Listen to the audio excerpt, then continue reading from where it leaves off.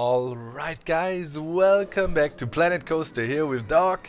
And today, after last time we made this masterpiece here, our amazing robot statue and I implemented some feedback I was getting, um, I had the head really straight and now it's kind of looking down onto the path and onto the people here.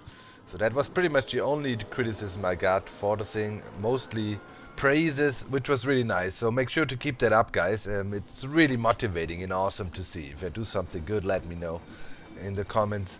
Share some love, share some likes, share the video, subscribe if you haven't, and all the good stuff. So today we want to start working on the main building here. Um, we have this bridge in there already. I worked a little bit on rerouting paths here and stuff. Um, and I think it looks pretty good now. How they come down. I decided on leaving those sides open. And yeah, just blend in the stairs.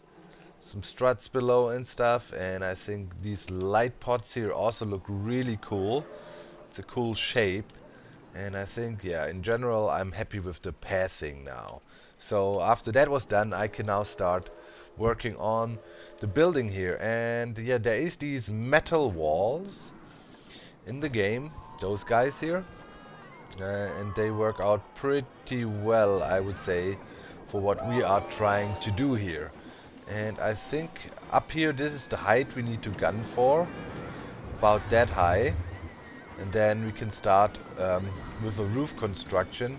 And I also already started to yeah get some decorative elements in there like you know pieces like that to kind of break yeah break off the white wall a bit and um, we will have to do lots of it. Here I integrated the walkway in and probably want to leave this this thing out in the open um, but maybe also extend the building this way and integrate a shop here. We will see how it how it plays out. I had I have a kind of an idea what I want to do, but it's not 100% there yet. So, um, up on top here, we definitely wanted to implement those cool laser cannons. Those guys here. I mean, they are just too cool not to use, right? So, um, let's just put them down as some kind of help uh, for orientation. Um, how we gonna have this all? Let's see, we can rotate them by 45. And it's not 100% there yet. Scoot them over a bit, like say this thing shoots in this direction. And put it kind of in the middle of the roof. Might have to balance it out a bit further. But I definitely want to have these guys on top here somehow. Shooting in between um, yeah, the tracks here. So it needs to be turned a little bit like that. I guess that that works out fine. Sadly, as it looks, ah, yes, we can. Can scoot it a little bit more forward, but okay, then would not be completely centered. Something like that as one centerpiece for the roof here. And then obviously we need to do some more blending in here on the sides to make it work out really well. But, you know, general idea, have that thing on top here. Definitely firing in that direction. And then, see, behind here, maybe I was seeing this piece. That could be on top there too. So, um, you know, so we get some sort of cupola um, up on the roof. Let's see if that works out. Like, let's say... And we line that up like so. That over. And maybe scoot that into the build like that. Maybe we have to go down a little bit. We have to see, it pretty much has to sit right on top of the track. Something like that um, as a base roof shape. I think that yeah, that gives some nice dimension, rounds it up a bit. And yeah, here I'll definitely find a fix. I'll put in some ceiling or something. We make it work. But yeah, that is kind of a basic shape we want to work with. And then we'll see. Having the track going in and around it is really cool. And I like the look of, look of that already. So yeah, with that base idea, Um, I'm gonna, yeah, just keep on working here and try to blend the thing in. There's plenty of options um, with the new building pieces for the future, or, you know, new in the sense that we didn't use them yet. And of course, I'll keep you updating. Uh, updated. Updating. I keep you updating. Alright guys, a little bit later now. And I started to integrate a shop front here. Um, we have, uh, it's a hamburger shop I think, yeah, and some juice here. People are frequenting it, that is nice. And I think that works out. Um, we can have some detailed pieces in here. I haven't decided about what, and of course, you know, in general, way more detail is needed. But the basic shape of the building is done now. I think it turned out pretty cool. It is a big coaster station actually, but the building with the round roof um, looks really slim. And that's what we want from here. We don't want that super massive, clunky building. And of course here is the train station that will also, you know, be done in a similar fashion, style, um, to what we got going on now. And yeah, here's the entrance. I like that pretty much. It's really cool and we will see how we blend that all in but in general that's the shape um, for the coaster realism enthusiasts watching the show um, you might have saw that already or seen that already here I have um, also support beams now for the coaster track which I think is more realistic and better we have the big loop going over the building um, I think it's semi-realistic in a sense of structural integrity. Um, but yeah, there is just no space to get more struts in there. So from that standpoint, I think we're all good. Now this laser is firing into the building. Um, that is obviously bad. We need to fix that.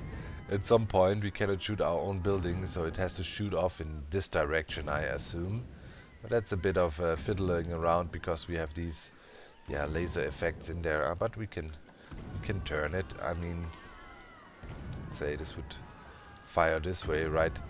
But yeah we have to change the lasers in there. Let me see. Here is the here's the lasers. I'll replace them later so yeah let's move that down so it rather would fire off into this direction here uh, make it about the same height uh, that's better.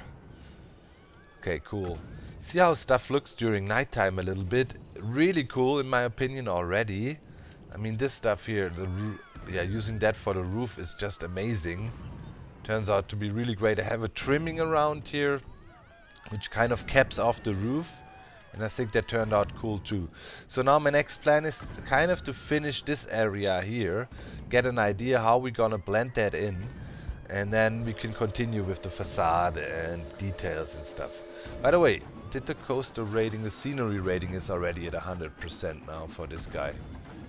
Very nice. I think it was just broken down, right? The queue is not long enough for this thing. Yeah, it was just broken. More people will come over and check it out. We also need toilets and other infrastructure here, but we'll get it done. Alright, I'm setting up a trigger here. Uh, okay, it needs to go up a little bit higher, I assume. It triggers it relatively quick. I want the, um, yeah, card to come through and when it's at the peak, we want the trigger to go off. Um, also, yeah, I did some some of the work outside here for the staircase and it's getting there. I'm liking it already. Looks pretty good in my book. Kind of the waiting line. Started with some pipe working here. I think that fits really well. We will keep that pipe theme up on that build, also kind of complementing the color of the coaster. And let's see when the next card is coming in. Um, it's sometimes hard to see in the spaghetti monster override. Going up. Here we go. Here we go. So let's see if it's timed nicely. Uh, you can pretty much almost have the trigger right on top here. Now that should work out fine, because this cannon literally fires at the exact same time the card passes. So having it right there should be perfect.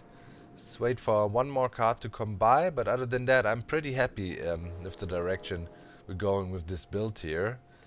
Um, there is one incoming over there. So let's see and give it a quick test. There she comes. And... Bam!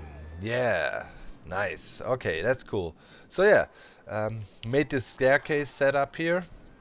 trying to blend it in a bit, added some more detail to the shop front. There will be more, of course. We will see how um, yeah, signs and uh, awnings and stuff look here. Mm, but other than that, I like the piping going on on this bigger tower and we will have it outside the building, all around the building. It will be a lot of work to, yeah, say we like it like that, but I use the piping here to disguise the bases of these lampposts a little bit. And I think that worked out fine. We have one here, giving a bit of light. I'm probably not gonna add any here on the bridge. Should be fine like that. I think. But yeah, overall, pretty satisfied. I'm looking for these, yeah, these tower-like structures, kind of offset, and boom, yeah. Sweet. That's pretty cool. Okay, I'll keep on working and um, I show you um, what I've done in a little bit. Alright, look at that guys. This is um, in the evening times and I think the lighting situation is pretty good here. Good enough on the bridge. It's a bit of a dark spot here, but that is all fine. And I made this little scenery piece here. This is so amazing. The sci-fi parts are actually super duper cool. And yeah. Oh. View challenge. Achieve a monthly profits from coasters of... Okay. Okay, we just did that. Nice. So, look at that scenery piece here. I mean, this is just super cool. This alien is kneeling down there and typing on the keyboard on the computer, kind of controlling this machine which gets, you know, pipes coming in. And yeah, there's some steam popping off of that thing still. And then we have this repair droid that's kind of manipulating the thing too. It's like R2-D2 style, you know, he plugs in and goes like... Adjusts some valves or something. And we have one guy standing guard here. And then I also attach this robot arm. Just wanna move it into position correctly. Something like that. You know, just yeah, maneuvering over the waiting line there and just doing something. Just super cool. Here we got this little brain logo and I really like the hot dog stand or hot dog squad sign there too. I think it has a sci-fi flair to it, you know, futuristic, flashy, glowy. And yeah, over there I have this symbol of an atom going on and I need to yeah frame that in better. Also started to do some detailing work here with some small side yeah structures and tower. And we're gonna yeah do that all over the building. But from here already we have a really yeah lively and cool looking scenery piece. And yeah use these cables to create a little fence here. I think that turned out cool too. And yeah I'm really happy. Um, I, I, I really enjoy the sci-fi building. Um, it's really cool. It has great building pieces and cool stuff you can work with. Um, one thing though that is a bit limited is Windows. I mean, if you look at Windows and let's say we gave it a um, sci-fi filter, right? It's empty. So there's literally no windows that go with sci-fi.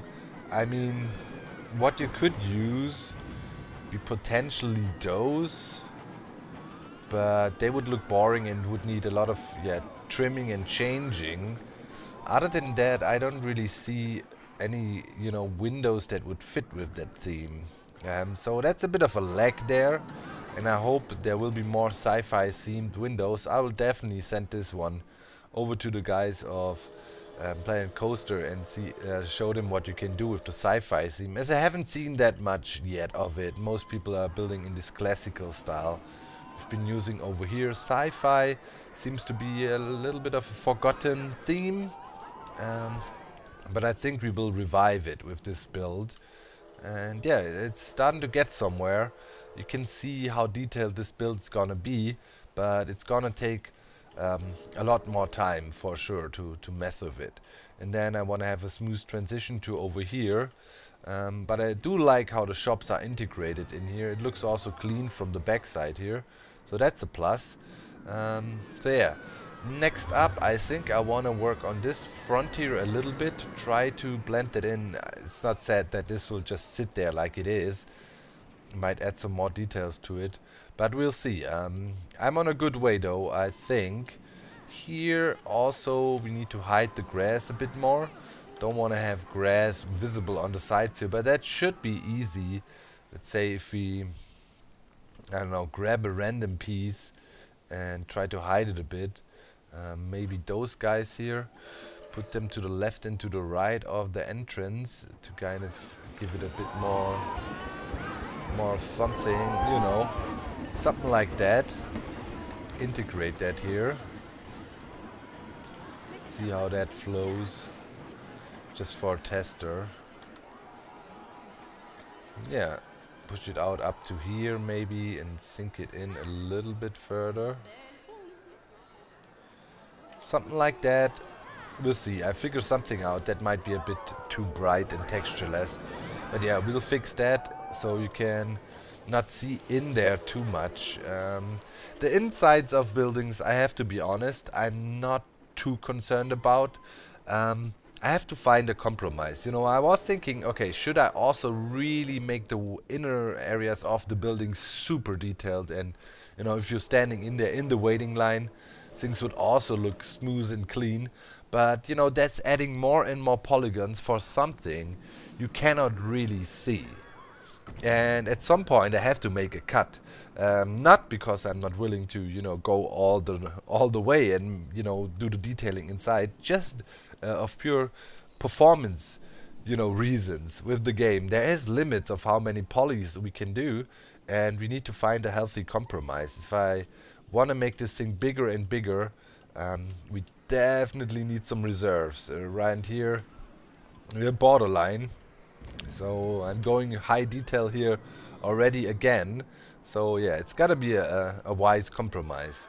So I'm gonna make look uh, stuff look great from the outside, but inside, um, I think we gotta live with, yeah, less detailed, um, a less detailed approach. But I think that's fine.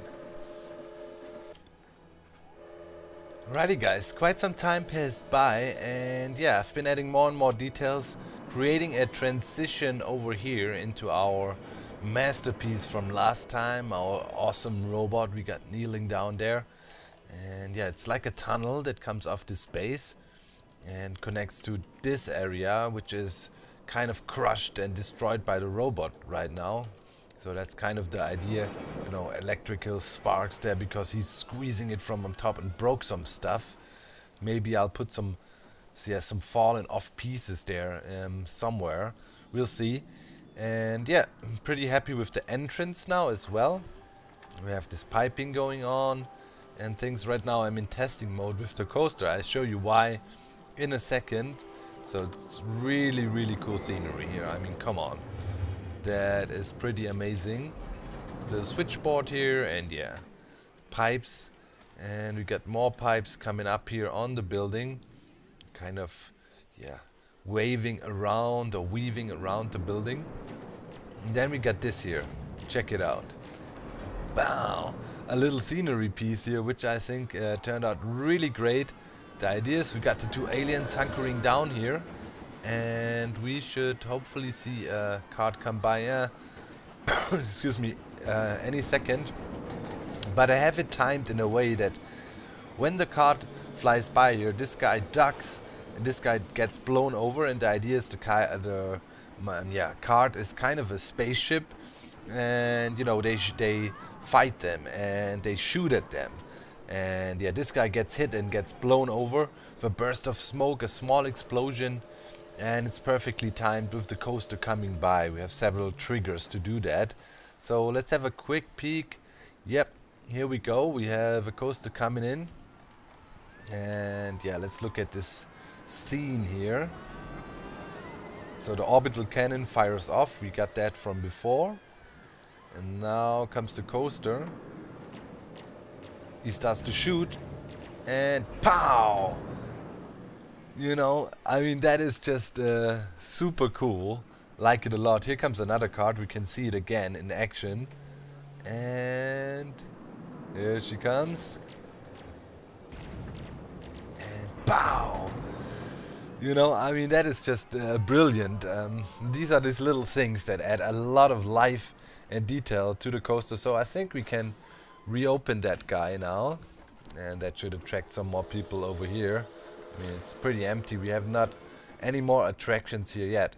But yeah, let's say I'm about half, almost halfway done with this building here. Trying to, yeah, give it a lot of detail and cool looks. And I think we're going the right direction here with this build for sure.